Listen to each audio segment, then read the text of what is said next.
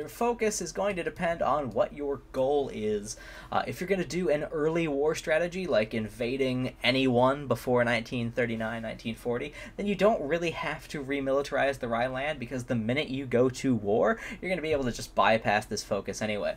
So you don't have to worry about it. Maybe you want to focus on building up your industry and getting that research slot. Uh, maybe you're going to want to focus on trying to stack the experience so that you can get land doctrines really easily and start researching the armor and the armored uh, vehicles, mechanized vehicles, things like that. Uh, or you could do what I do the German Navy. Why focus on the German Navy? Well, these two focuses are half of what a normal focus is 70 days. So in 70 days, you can get five free dockyards. That's a capital ship worth of dockyards. Okay. It also gives you 25 naval experience, which lets you uh, build some of these ships that I just created.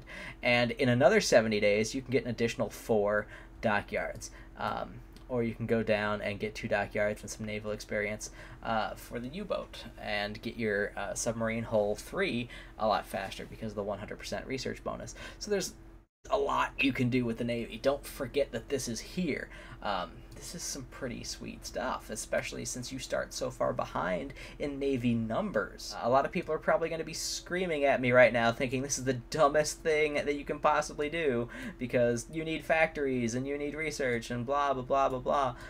But, well, like I said, depends on what your strategy is. If you're going to do an early war and you're going to invade somebody in 1936, you're going to get factories from that. So why not build a navy? Get yourself ready to repel the British Navy. For research, uh, the first couple are pretty much a given. You want the machine tools, and you want the construction, and you, of course, always want your electronic, uh, mechanical engineering. And this is going to boost your research speed, your construction speed, and your efficiency in production. But what do you do with that last slot? This is a hotly debated topic. What do you do with your last slot. I know one guy I've seen who uh, just goes straight here. 1,087 days, a four year penalty. There are a couple ways you could do this. You could uh, get your smoke generator because pretty soon, if you go through the focuses, it's going to give you a 100% uh, bonus on anything in this block, and you don't want to accidentally spend it on that. So if you research this now, that avoids having to waste it on that, and you can go somewhere else, jump on here and start working on getting your improved small cannon because you might want that for your tanks and uh, the of course the 15 and 10% bonuses that you can get for your existing artillery unit. Some people uh, jump down here get logistics right away or military police right away. You're not going to have enough support equipment in 1936 for either of these to matter. Uh, so that's not really anything that is super super important. If you like to build scout planes, that might be something you do first because you can always devote one factory to scout planes early on, get that production efficiency up so high and, and get a stockpile of scout planes. Or you can start looking into getting those marines. Uh, there's really a lot of good answers here. There's no one thing that I do. It really just Depends on my mood. Uh, another thing that I have done quite a lot recently, this might be the new favorite thing, depending on how they start doing things with armor, is that right there. Because once you get a little bit of experience, you can start designing tanks, you're going to want welded armor. Early setup for Germany's navy. The first thing I tend to do I know a lot of people do this. Some people are, are annoyed when you do it, but you merge together all your surface ships, you merge together all of your uh, submarines, and you wind up with a surface ship leader. And I'm a big fan of Bohm here because he does not have the annoying naval anti aircraft penalty. He has this uh, amazing little retreat decision bonus.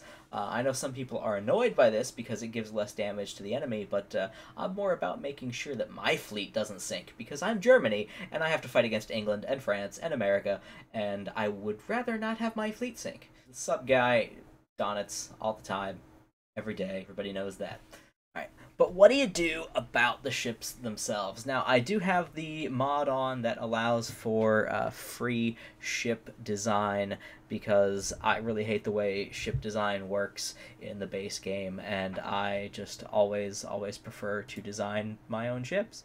So what kind of ships do you want to build if you're Germany? Well, everybody always says submarine, submarine, submarines, but I tend to think broader than that. I know that submarines are very powerful, especially once you get to the uh, level 3 hulls, and I do start stepping up production of subs at that point, but uh, you're going to waste a lot of manpower in sunken level 2 subs, and there are some other ways you could use that manpower. You need to worry about protecting your own coastline, and a cheap way to do that is with mines. So uh, I'm going to go ahead, and first thing I'm going to do is I'm going to build uh, what they should already have in the game, and don't. I'm gonna build a little a little speedboat kind of a thing here, and it's going to actually I don't need the engine two. I just need engine one. I forgot about that. Uh, engine one it forces you to put a gun on here, so just buy the stupid gun. And mine rails. That's it. Basically all you need. Now, if you want to get a little more out of this design, you could theoretically um, give it some anti-submarine. Uh, you could give it a very basic anti-aircraft defense ability. Um, you could even give it some torpedoes um, to give it some ability to punch back. Um, and you could give it the ability to detect uh, submarines. But if you do that, you keep adding to the cost. And the whole point is to have a, a cheap, easy to build uh, ship that essentially isn't going to do anything except lay mines. So you could either build it for 670 as the minimum, or you can add almost 20% uh, or so to the cost 870 and put some weapons on here. Um, your call on how you want to do that, I guess. Uh, I'm just going to go ahead and leave it this way just so I don't have to click the buttons again. So, if you've got a ship like this, the problem is it's not going to live very long if it encounters any kind of enemy ship at all. And so that is why you might give it a little friend. The Kriegsfischkutter armed fishing boat and the Vorpostenboot flak boat, also called the outpost boat. Uh, these two ships would be used to primarily shoot down airplanes, hunt down submarines, and provide coastal defense uh, support to all the other coastal defense ships and coastal areas. I also have the uh, expanded, uh, Man the Guns Expanded, I think it's called, which gives me these little downgrade options that cut my production, but also cut my hit points and my reliability. Uh, so I'm gonna I'm gonna downgrade my hull, and I'm gonna keep the little engine. It forces you to put a gun on, so I'm just gonna put a tiny little gun on this thing. Uh, I'm going to give myself the ability to detect submarines in case they're trying to hunt in my home waters. I'm going to give myself the ability to sink subs. We're going to put some mine laying rails on there because that's what this is going to be. It's a mine ship, just like the destroyers. Uh, it's going to have the ability to shoot down airplanes. And if you wanted to, you could even give it torpedo launchers.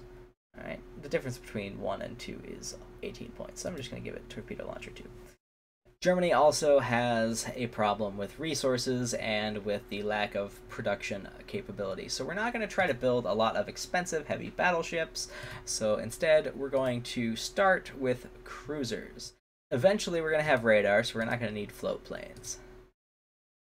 And one of the biggest things you're going to need is anti-air. Technically speaking, don't really even need this torpedo tube. If you've got torpedoes everywhere else, don't need them on your cruiser. You could get yourself some extra anti-air, because you're definitely going to need that, or you could uh, double down on this battery and get more hit points out of it light cruisers, you could do something uh, similar. You could take the base cruiser that already exists. Uh, eventually, you're going to want to add radar and dual-purpose guns. Dual-purpose guns belong on everything. Uh, but for now, just try to make the cruiser a little more survivable. Um, by adding some bonuses. Now, since you happen to uh, have the extra slot here, you might as well get yourself some sonar and the ability to defeat submarines even though that's not the cruiser's main job. Again, don't need the torpedo tube, but you might as well, you know, uh, have something in this slot. So either uh, if you're if you're annoyed by the fact that I put tor- torpedoes on here, uh, the next best would probably be the anti-air. It actually is uh, slightly more expensive, uh, but it's going to be a significant bonus to you when the British fly a thousand planes at your ships uh, to be able to shoot some of those down. So that's probably the better option is to stack this thing with AA. This destroyer model, uh, upgraded a little bit with things like radar or uh, next level modules, is basically what I use for pretty much the whole game. I don't bother with Destroyer 3, Destroyer 4, unless I really have to. Um, I just find that I like that it's cheap, and cheap is good. Cheap you can build more of. Um, so we get the sonar, we get some anti-air in there, we get some torpedo in there. We have only the first basic anti-sub, but eventually you'll upgrade that. Eventually you'll stick some radar in here, and this will be a pretty potent ship.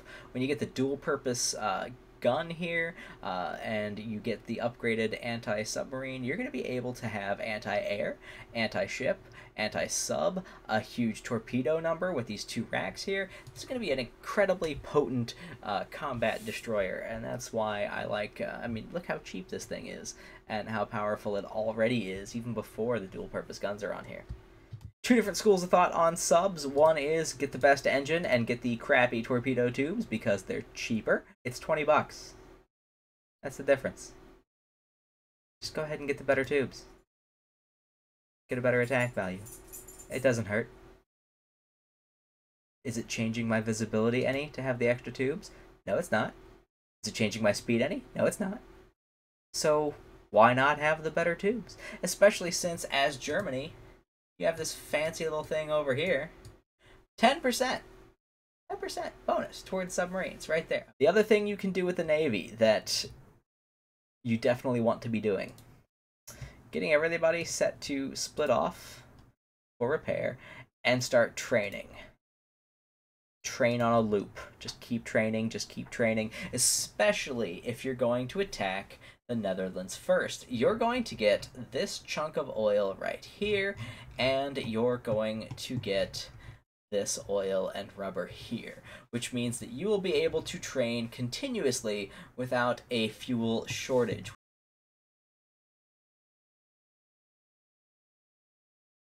The Air Force is pretty easy. You just want to uh, consolidate and make your squadrons whatever size that you like them. I hear they're going to change this pretty soon, but uh, for right now, I like having 12 in my transports. Uh, I like having about 50 in my various bomber wings, and I like having 100 in my fighter wings. Being divisible um, in 50s and 100s like this uh, makes it easier since your air bases are all in uh, hundreds. Um, so that makes life a little easier when you're dealing with trying to stock air bases. Um, the one that doesn't really fit that pattern is having 12 in uh, your transports, um, but that is more to do with um, how many uh, points that it costs you in command power uh, to put transports out there. As Germany, one of the cool things that you get to do is participate in the situation going on in Spain, and don't forget that you can send air volunteers. Why isn't my deployment? There we go. So when you send volunteers, it gives you the option to click send air volunteers and you can fly some planes down here and you can easily get enough air experience to start upgrading your planes uh, from that experience. So please make sure you, you don't let that opportunity go to waste. One thing that took me an embarrassingly long time to realize about air wings is that you can actually duplicate air wings rather easily, rather than having to go through this manual process of click, add, click, add, set limit, okay. Instead of doing that the entire time, you can click on an air wing and duplicate it. How the heck did I not know about that for so long? It's ridiculous. I literally just found this out. Um, that's embarrassing, I know. But that's how uh, the Air Force works.